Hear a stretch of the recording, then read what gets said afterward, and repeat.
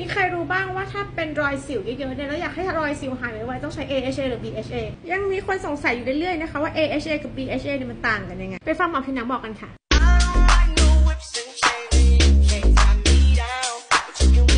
จากคลิปของคุณหมอเจนนี่หลิวนะคะคนที่เป็นคุณหมอผิวหนังนะคะ ถ้าไปดูหลายๆ คลิปจะเห็นว่าคุณหมอผิวดี แล้วก็หน้าเด็กลูกขนเบียดมากเหมือนเด็กประถมอะจากตารางเปรียบเทียบนะคะ จะเห็นได้ว่า AHA กับ BHA มันต่างกันแบบนี้ค่ะ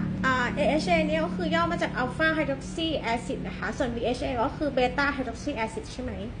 AHA กับ BHA ต่างกันตรงที่ AHA ละลายในน้ำนะ ส่วน BHA ละลายในไขมันละลายในน้ำมันค่ะ ดังนั้นมันเลยเข้าไปในต่อมไขมันท่อน้ำมันได้ดีกว่า AHA มากๆค่ะ ข้อดีของ AHA คือมันจะไปเอาเซลล์ที่ตายแล้วพวกเซลล์ดำๆเซลล์เหี่ยวๆเซลล์แก่ๆทั้งหลายหลุดออกจากหน้าได้ดีมากๆค่ะ แต่ BHA นะคะ ความเลิศของมัน ความเลิศก็คือปกติในท่อน้ำมันในต่อมไขมันเนี่ย AHA ถ้าจะเข้าไปไม่ได้นะคะ มันเลยเข้าไปทำความสะอาดต่อมไขมันท่อน้ำมันให้เราไม่ได้ สิ่งที่เข้าไปได้ก็คือ BHA เท่านั้นค่ะ ที่จะเข้าไปทำความสะอาดให้เราได้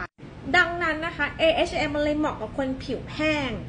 ผิวธรรมดาที่ไม่ได้มันไม่ได้เป็นสิวอะไรอย่างเงี้ย ส่วน BHA นะคะ จะเหมาะมากสำหรับคนที่เป็นสิวเยอะๆอะ ใครก็ตามที่หน้ามัน ใครก็ตามที่มีสิวเซียนรูขุมขนอุดตัน BHA เข้าไปทะลวงทะลุจนแบบโล่งสะอาดหมดอะดังนั้นข้อดีนะคะ AHA นะ มันเลยจะดีกับคนที่แบบผิวคล้ำหน้าดำแก่แล้วให้เน้นแก่ๆใครที่ริ้วรอยล่องตีนไก่ตีนไก่เยอะๆ AHA บางตัวทำให้หน้าเด็กลงได้นะ ที่สำคัญก็คือรอยสิวทั้งหลายนะคะ ใครที่ยังใช้ BHA อยู่เนี่ย รอยสิวมันแทบไม่ช่วยนะ สิ่งที่จะช่วยให้รอยสิวจางไวมากๆ คือ AHA ค่ะ รีบไปตามหากันนะ ใครที่อยากรอยสิวจางไว แต่อย่างที่แม่บอกไปค่ะ ข้อดีที่ AHA ทำไม่ได้ก็คือ เรื่องกำจัดเรื่องลดแบคทีเรียในต่อมไขมันในท่อน้ำมันของเราอะค่ะพอ BHA มันเป็น กรดอ่อนๆใช่ไหมพอมันเข้าไปอะแบคทีเรียในนี้มันตายด้วยอะมันเลยทำให้สิวหายไวมากๆค่ะ อะไรที่มันอุดมันตัน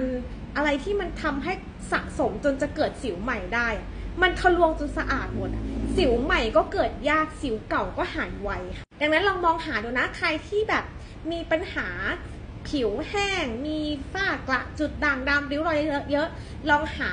คำที่ชื่อว่า glycolic acid mandelic acid lactic acid citric acid อะไรพวกนี้นะคะ ส่วนใครที่ผิวมันนะ ใครที่หน้ามันเป็นสิวไม่จบไม่สิ้น ก็ยังต้องใช้ BHA ไปก่อนนะคะ แต่เมื่อไหร่สิวหาย กระบวนการรักษาสิวจบแล้วอะแล้วมันมีรอยเยอะมากๆอะต้องเริ่มมองหา AHA ไปช่วยนะคะ หรือถ้าใครมีทั้งสองอย่างนะ ให้ลองใช้สลับกันนะคะ อย่าไปใช้เยอะนะ แค่สัปดาห์ละสองครั้งก็พอ ไม่งั้นระวังหน้าดำนะ ระวังสกินแบร r เ e อร์พังนะคะ